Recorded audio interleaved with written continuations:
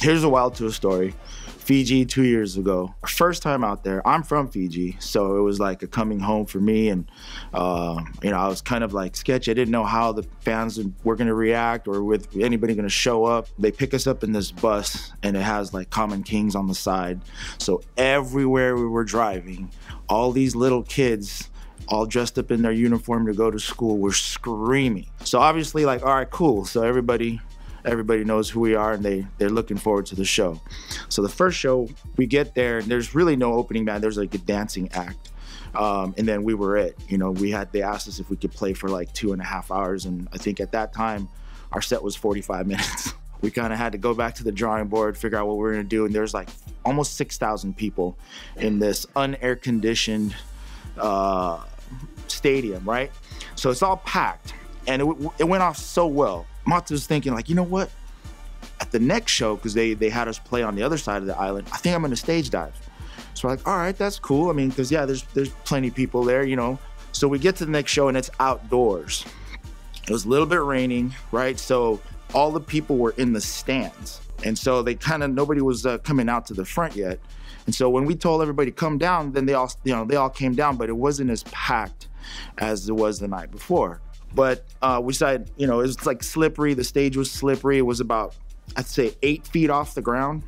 And we're, we're like telling Masa, it's, it's like, you know, you probably shouldn't stage dive. It's it's kind of slippery. There's like little kids in the front. You know, I think uh, we had just ended the show. Everybody applauding. It goes quiet, you know, so they put turn the music on or something like that. We hear like this big like uproar, like people laughing or screaming or something like that. And come to find out, uh, Mata, our guitarist, he, he tries to stage dive.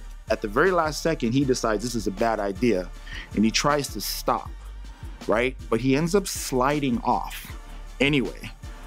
Ends up sliding off and he looks for the biggest guy and he tries to go for him and they all kind of moved. And our fans are like, they're young and, and most of them are female. So he tried to stage dive and it was kind of muddy. It was raining earlier that day and stage dive and nobody catches him. Boom, lands into the to the mud. Now he is an athlete. I'll grant him that. So he kind of landed like Thor coming down from the mountains or whatever. Not on his feet, but like in a position to where it didn't mess him up. The crazy part about that was that everybody looked out in Fiji. Everybody's kind of like reserved, so they don't do like mosh pits. They don't do stage dives. Everybody's kind of like they're you know they're there singing along. So when they saw him coming, they're like, oh, what, what the hell?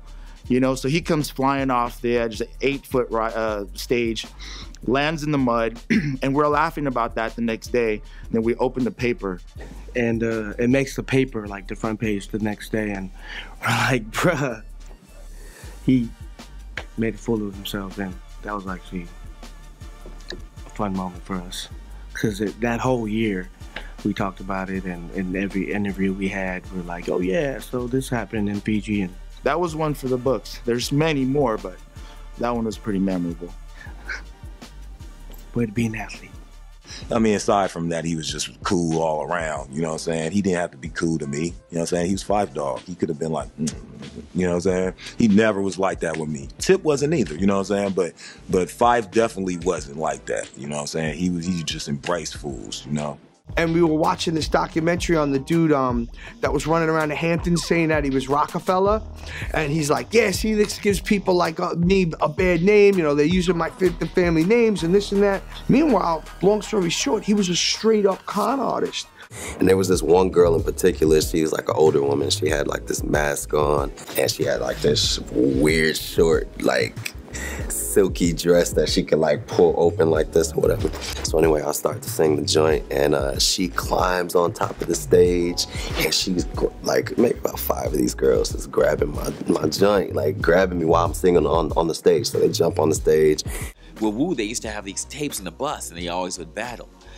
And, you know, we was talking about that. So at that moment, you know, I was like, all right, you ready to go?